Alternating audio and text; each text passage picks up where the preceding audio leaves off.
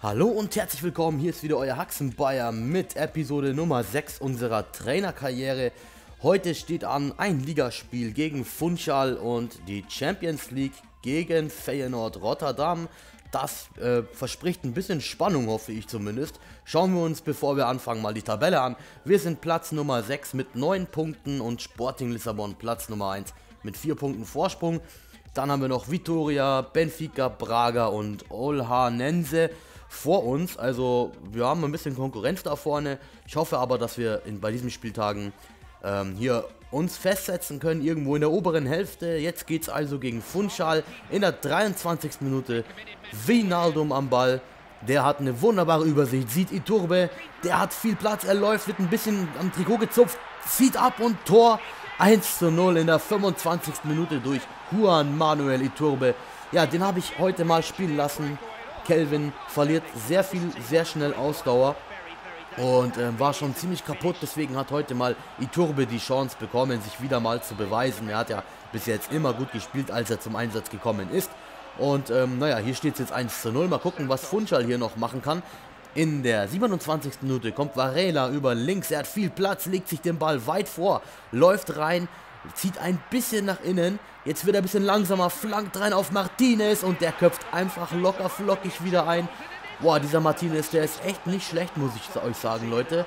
Er ist 26 und wird sich vielleicht nicht mehr so viel entwickeln, aber vielleicht entwickelt er sich ja doch noch ein kleines bisschen, weil ein paar Sachen finde ich noch nicht so gut, aber im Großen und Ganzen ist er ja ein richtig guter Spieler. Jetzt in der 45. Minute kommt Heldon, äh, flankt rein, aber naja, meine Abwehr ist einfach zu stark, also die Abwehr kann ich nur jedem empfehlen, der äh, Karriere spielt. Mangala, absolutes Tier da hinten in der Verteidigung.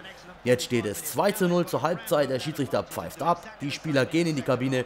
Und jetzt sind wir mittlerweile in der 80. Minute. Varela am Ball, lässt den Ball hier durch, geht auf die Außen, flankt rein, da steht Kelvin, ein bisschen Getümmel, der Ball kommt raus, da steht Defour und der Ball geht rein, er nimmt ihn. Volley, wird äh, glücklich abgefälscht, aber Tor ist Tor, Leute, das wisst ihr ganz genau und Defour bekommt, er hat heute auch mal einen Einsatz von mir bekommen, denn der hat schon ein bisschen gemeckert, seine Moral ging runter und ähm, naja, jetzt hat er sich vielleicht hier ein bisschen beweisen können, für äh, die äh, Startelf in unserer Mannschaft. Da muss aber noch ein bisschen mehr kommen, Leute. Jetzt steht es 3 zu 0 und jetzt sind wir in der 90. Varela auf Weinaldum. Der hat hier ein bisschen Platz, nimmt, nutzt hier sein starkes Dribbling, zieht nach innen einfach mal. Versucht hier mit dem EF-Schuss, ja, der war nicht so gut. Ja, aber in dem Fall ist es egal, denn der Schiedsrichter hat abgepfiffen. Wir haben unser erstes äh, Ligaspiel der heutigen Folge. Äh, 3 zu 0 gewonnen, souverän 3 zu 0 gewonnen. Der Herr schon wieder ohne Gegentor. Ja, das gefällt ihm natürlich, auch wenn es ihm vielleicht ein bisschen zu langweilig ist. Jetzt geht es aber weiter in der Champions League gegen Feyenoord Rotterdam. Äh, momentan hat Feyenoord 0 Punkte noch und wir haben, glaube ich, schon 6. Äh, ja, 6, glaube ich. In der 45. Minute, es hat lange gedauert, bis irgendwas passiert ist äh, Passe auf Acevedo und es passiert in der ersten Halbzeit gar nichts. Das wollte ich euch mit dieser Szene zeigen. Ja, 0-0 zur Halbzeit. Wenig ist passiert, gar nichts eigentlich. Es war ein Abtasten. Feyenoord hat gut dagegen gehalten, hat gut verteidigt. Und Porto kam auch nicht so wirklich vors Tor. Jetzt haben wir aber schon die 51. Minute. Vinaldum am Ball äh, nutzt hier dieses Dribbling, zieht nach innen, zieht ab mit links und Tor. Was für ein Hammerding. Vinaldum hat halt 5 Sterne, schwacher Fuß. Und das hat man hier auch deutlich gemerkt. Mit ihm kann man egal mit welchem Fuß abziehen. Und das macht ihn auch so stark. Wahnsinnstyp, der, der Kerl. Das war eine richtig geile Verpflichtung, finde ich. Und hier hat das nochmal bewiesen, dass er auch Tore schießen kann. Er hat ja mittlerweile schon ein paar Dinger geschossen. Und ähm, ja, 1-0 in der 53. 53. Minute für den FC Porto. Jetzt sind wir aber auch schon wieder in der 90. Minute angelangt. Und jetzt schaut euch mal diesen Lauf von Iturbe an. Er hat hier oben die Lücke gesehen, dass er viel Platz hat. Was macht er jetzt? Wird langsamer, flankt rein. Alexandro kommt nicht dran, leider. Und jetzt ein kleiner FIFA-Fail. ich schieb ihn hier irgendwie weg, aber ungewollt. Und Fernando am Ball, der versucht den Ball hier nochmal rüber zu chippen. Das hat aber alles nichts genutzt, denn der Schiedsrichter pfeift jetzt ab.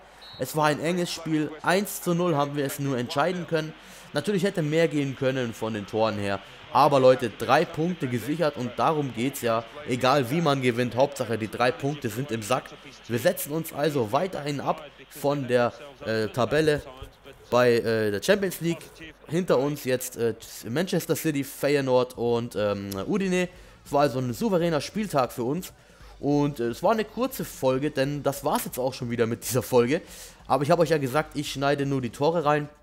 Und so werde ich das auch in Zukunft machen. Und ich hoffe trotzdem, dass euch diese kleine, aber feine Folge gefallen hat. Wenn ja, lasst einen Daumen nach oben da. Und äh, bis zum nächsten Mal, euer Haxenbayer.